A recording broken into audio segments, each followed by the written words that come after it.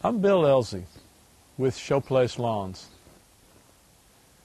Let's talk about perennial flowers.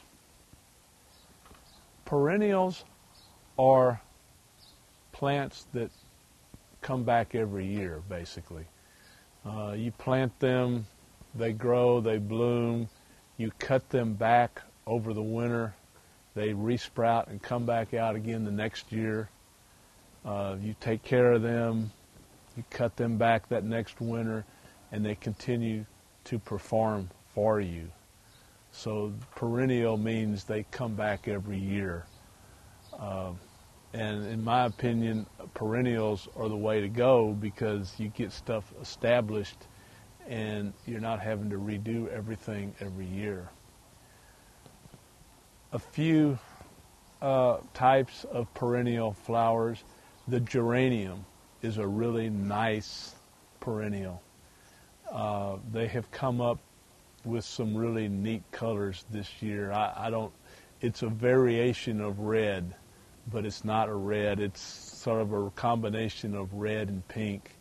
Of course, there there is the red geranium as well, but it is a really nice uh, summertime flower. Of course, roses. You can't go wrong with roses in the middle of the summer. They thoroughly, thoroughly love that. And then, of course, you've got lantana, and there are more and more types of lantana coming out. Uh, you've got what they call new gold. You've got uh, a purple.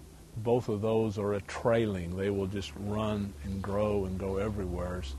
Then there's some lantana that's in uh, sort of in a shrub form. The horrida, which is a Texas native, has an orange and yellow bloom on it. is really nice. Uh, there's a white one like that as well. There's another one in similar fashion that has a sort of a creamy and lavender bloom.